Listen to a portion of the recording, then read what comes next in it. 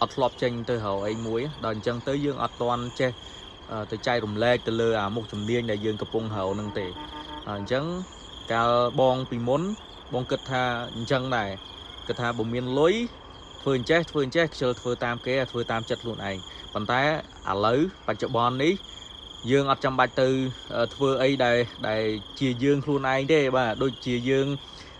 ទៅទៅបង្កើតទូរស័ព្ទទៅបង្កើតមុខរបរអីដែលថ្មីខុសពីគេនឹងអត់ចាំបាច់ព្រោះមុខរបរទាំងអស់គេរកហើយ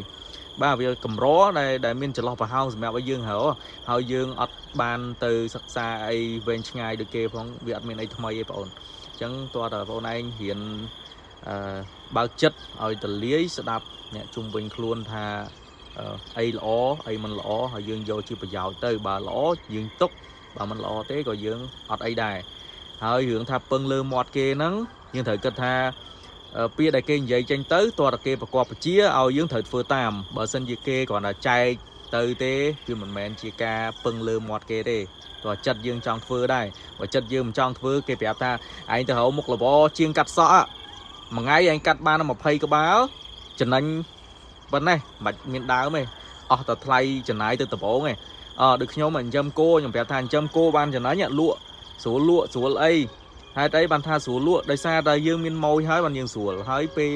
យើងត្រូវទៅលក់នៅណាអីផ្សេងយើងដឹងផ្លូវដល់អញ្ចឹងទៅយើងគិតថាវាស្រួល